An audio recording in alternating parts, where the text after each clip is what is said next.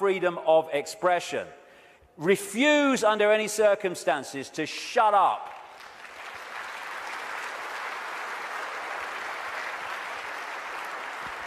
If, we, if vast numbers of people did that, this is the key to it all, what are they going to do?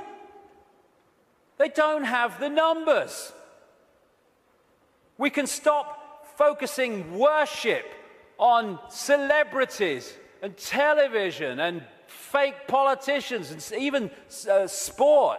Not that I don't enjoy sport, but as long as it's there, peripheral vision, and not here, the worship, externalizing. And this is the biggest thing we can do. Human race, get off your knees. What are we doing down there?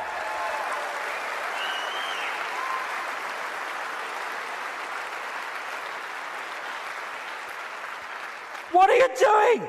You're all that here's as it been and ever can be. Where have your bloody knees for? Well, I'm only little me. No. If we get off our knees, the control system's over. Martin Luther King said, A man can't ride your back unless it's bent. And then there's the people in dark suits and uniforms. Hey, you got children and grandchildren and families as well. What are you doing serving a control system that wishes to impose a fascist date on your families?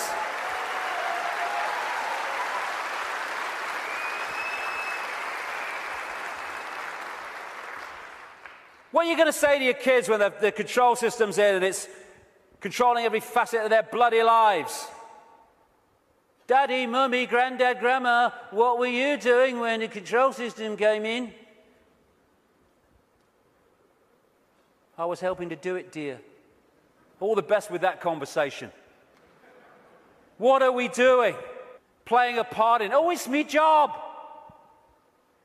We'll get a bloody another one then. We got to do this to our children because it's my job. What can we do? We can cease to serve the control system in uniform with a gun in our hands. We can do that.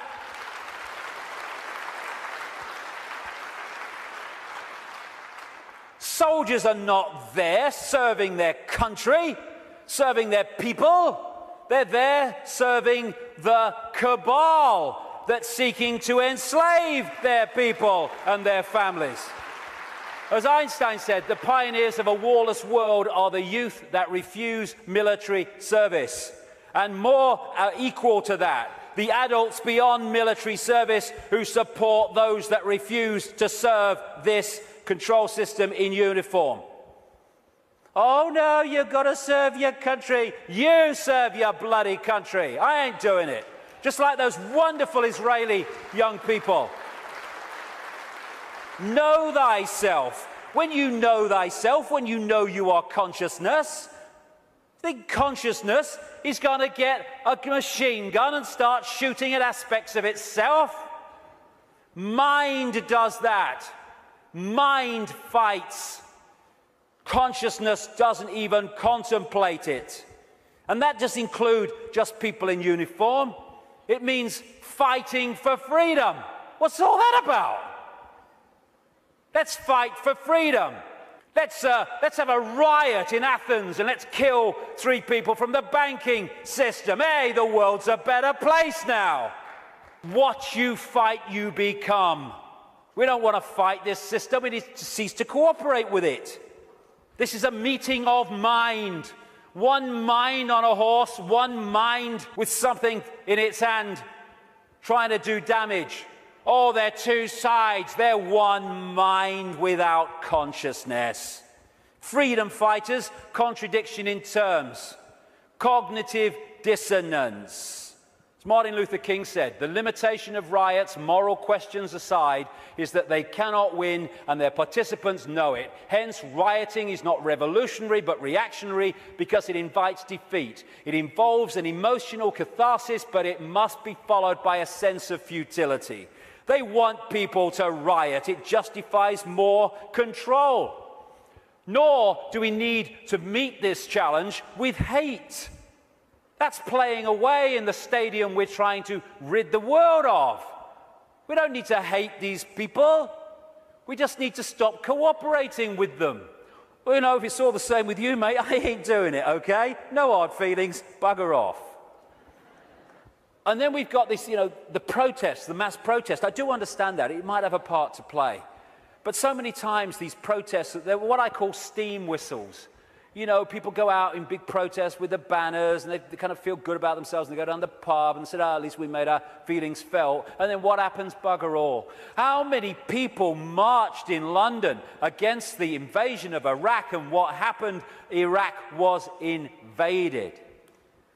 Protesting has such limitation. They don't care if we protest and walk through the streets and shout slogans and wave banners. They care if we come together, irrespective of color, creed, gender, sexuality, any of it.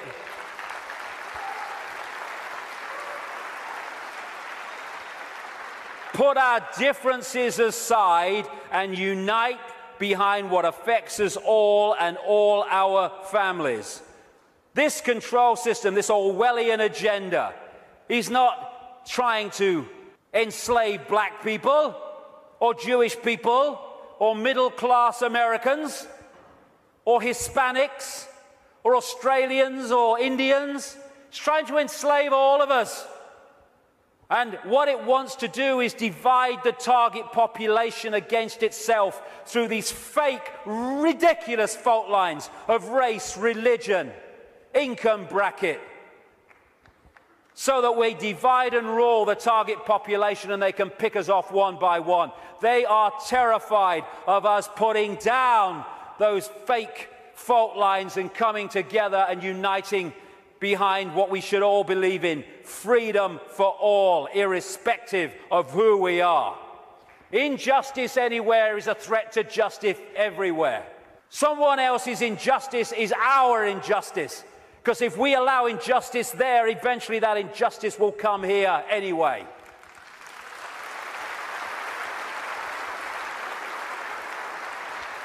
In the end, we will remember not the words of our enemies, but the silence of our friends. Silence is consent. Can you hear us now? Silence is consent. Because while we're silent on these impositions, the impositions just keep going on and on and on. By our silence, we are acquiescing, even agreeing to them being imposed. The end of silence, the end of acquiescence. If we want to be free, then don't run and hide. Because you can put your head in the sand and ignorance is bliss, but only for a while. You can put your head in the sand because there's a tornado coming. But the tornado's still coming, your bum's in the air. If you lift it out the sand, take responsibility and face it, you can take avoiding action. Ignorance is bliss with a head in the sand, and then bang, your ass is spinning up in the clouds. Strength does not come from physical capacity, it comes from an indomitable will. Mahatma Gandhi. Isn't it amazing how true that is? How you can see soldiers in uniform involved in truly extraordinary levels of physical courage and what we call heroism. And yet, those same people are terrified of saying boo to another guy in uniform who's got more stripes on his arm than he has. Isn't it amazing? With physical strength, can come so easily, and moral strength not. That's to do with the moon matrix and the way that our perception is, is uh, manipulated. Turkish proverb, a lion sleeps in the heart of every brave man, every brave woman, and it's not really bravery.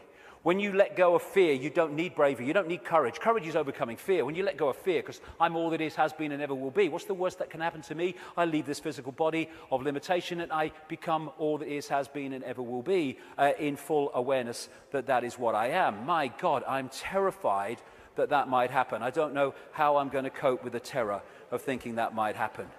Know thyself. Again, recurring theme. Know thyself. We are consciousness. What is there to fear? Death? There is no death. Just putting the telescope down. We can meet this with fear. Oh my God, the police state! Or we can treat it with the emotion it deserves. eh?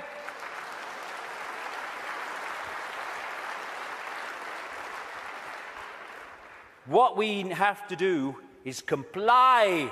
Compliance. That's what we have to do.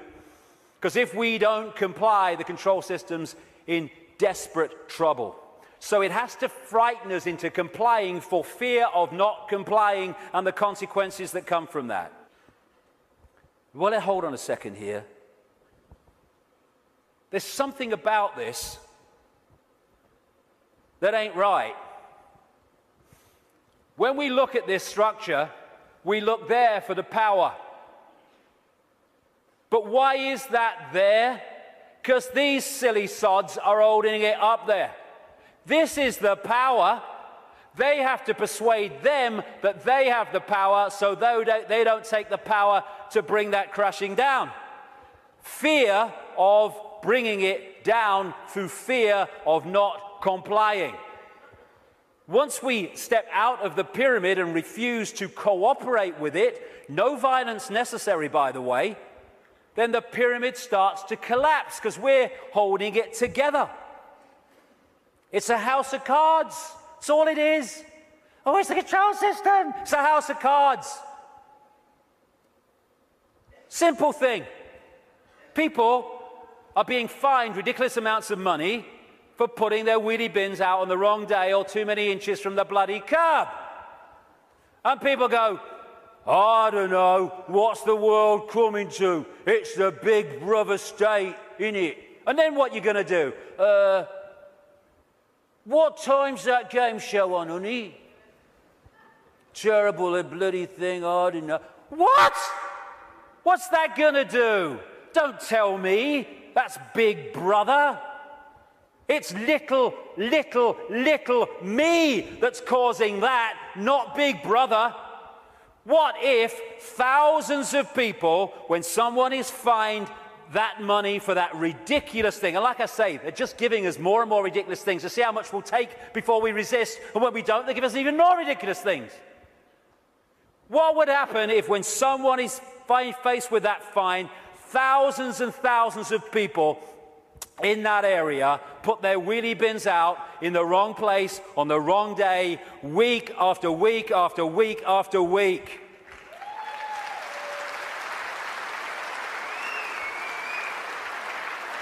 The system couldn't cope. We have the numbers. And I see this your vote is your voice, be heard. Bollocks it is. How can the vote be your voice when the people you're given the choice of voting for that have any chance of forming a government are standing on the same postage stamp of political uh, policy and perception? There's no choice. We've reached a point now where the vote becomes a voice when we refuse to vote. We refuse to play the game anymore.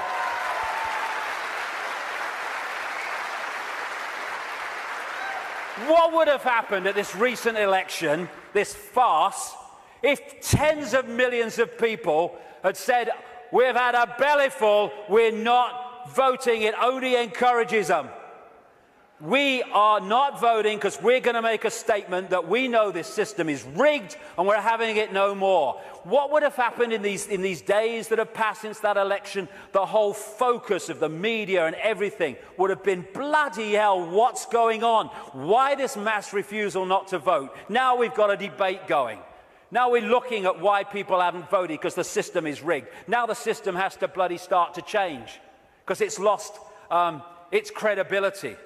But instead, the majority trotted along to vote because they said, well, if you don't vote for them, they might get in. It doesn't matter. Their masks on the same face. So what if they get in? Same thing will bloody happen. Comply. No. No, no. Not if it's enslaving me and my children and imposing on my freedom. Comply, leave your home now it's foreclosed. No, no, no. Let's follow this through, shall we? Millions of